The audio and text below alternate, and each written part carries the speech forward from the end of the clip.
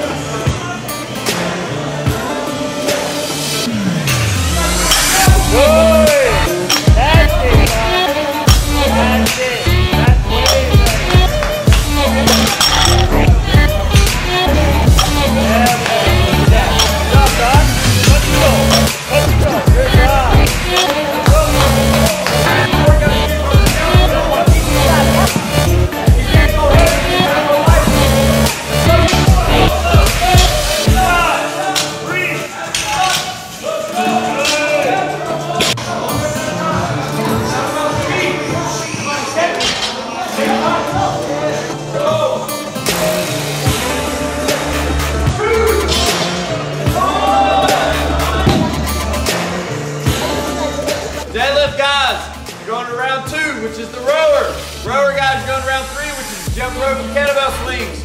Kettlebell swings, you're going to round one, which is the stair lap and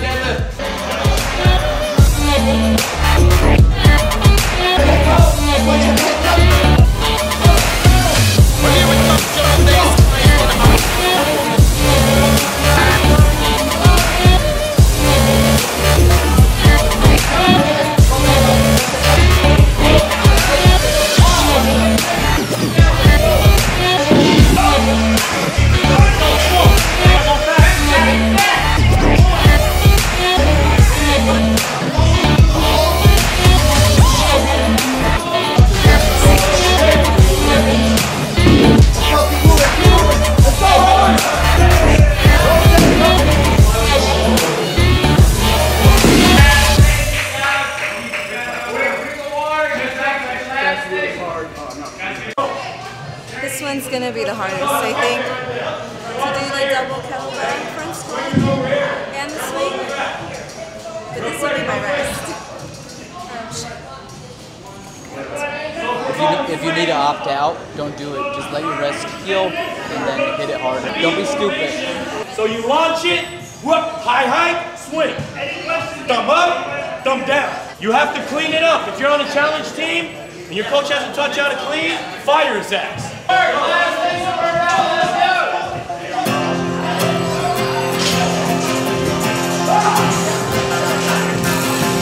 is the hour, the darkest place. The devil's maze.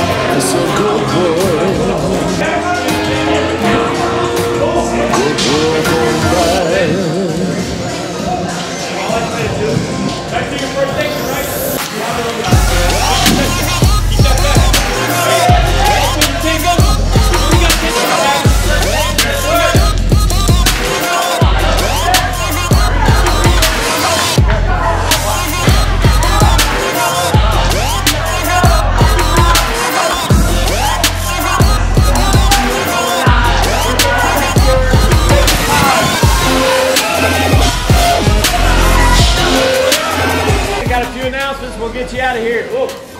Alright? So that's every like some people are hurting. Alright? Talk to Coach Chris. Alright. Well, look, look, coach, I'm gonna join you guys for the workout live. Modified schedule. Two, three, UFC! Chest out, chest out, son. Keep that chest out, I think moved pretty well for just eating a huge breakfast. Take a deep breath and just talk about what you went through, how you're gonna be prepared for it. Basically, what they had us do today was uh, doing every minute on the minute max, max effort, which I think was a really good idea because they just wanted to see where everybody was. And I was definitely doing well in a lot of them, but there were a lot of there were there were a few here and there that I was like, I need to work on this. I need to practice this more, because when you're fatigued, you kind of sacrifice your form to just get through the movement, which I felt like I was doing for some of the stuff. So, which is great to know that that's what I have to work on. I definitely think that I won't be eating 30 minutes before this because I, I was a little full going into it, but at least I had something in me to push me over the edge. So overall, it was honestly, it was really good, and I'm excited to keep training for it. Now, moving forward in a few weeks, every week now, they're going to be focusing on specific exercises. So this was to just see where everyone was at. It was to gauge where all of us were, so we could feel a little bit more comfortable with the heats. So I'm pretty, I'm pretty satisfied, and I think everyone had a good time, which is the most important part. I'm now going to go enjoy my life with my boyfriend because it's Saturday, and come back and hit it hard tomorrow in training. So until then, I'll see you guys later.